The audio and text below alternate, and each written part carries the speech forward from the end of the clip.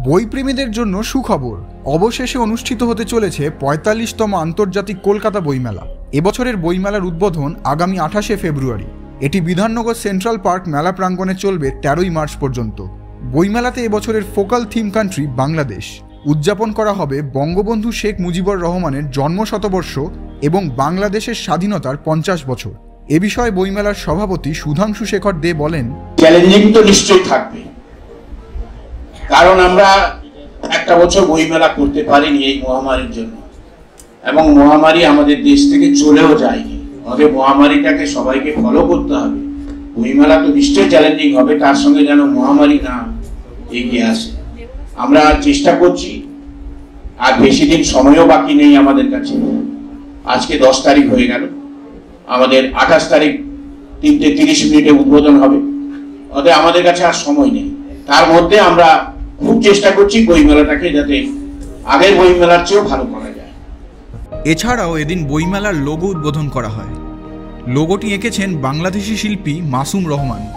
অনেকগুলি লোগো জমা পড়েছিল। তার মধ্য থেকে মাননীয় প্রধানমন্ত্রী বাংলাদেশ শেখ হাসিনা উনি এই স্লোগানটাকে তৈরি করা এবং সেটাকে সমস্ত ব্যাপারটা উনি দেখেছেন এবং মাসুম রহমান আপনি দেখবেন এই লোগোটার মধ্যে একটা মেসেজ আছে, সৃজনে মননে মানবিক বাংলাদেশ, বঙ্গবন্ধুর বাংলাদেশ।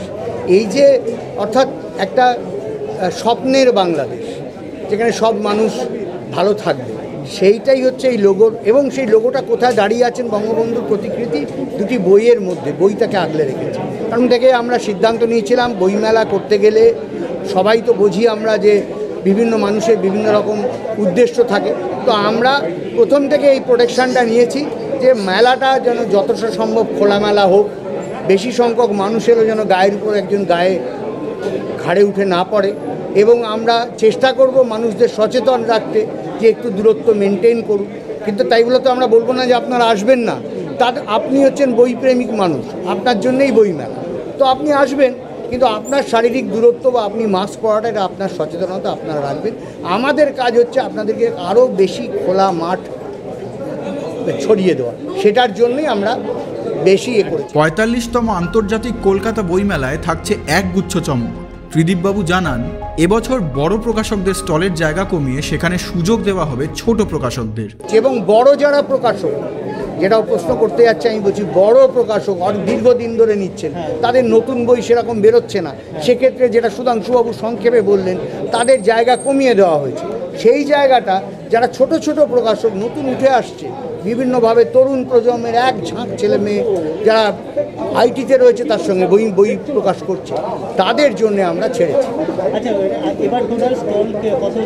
সুধাংশুবাবু বলেছেন তাও বলছি ছশোর উপর স্টল থাকছে এছাড়া দুশো লিটল ম্যাগাজিন থাকছে তাছাড়া বাংলাদেশের মাননীয় কামাল চৌধুরী বলেছেন যে বেয়াল্লিশ জন প্রকাশক এবং পঞ্চাশটি ছোট ছোট স্টল থাকবে বাংলাদেশ প্যাভিলিয়নে এবং এছাড়া আপনার যারা আমাদের স্পন্সর থাকেন অন্যবিধ যে সমস্ত থাকেন, সব মিলিয়ে আট আটশো থেকে সাড়ে আটশো পার্টিসিপেশন থাকবে।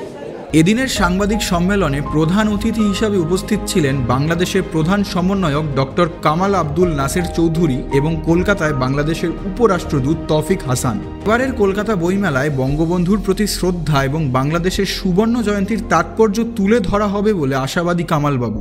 সকল মানুষকে বইমেলায় করোনা বিধি মেনে চলার বার্তা দিলেন আধিকারিকরা।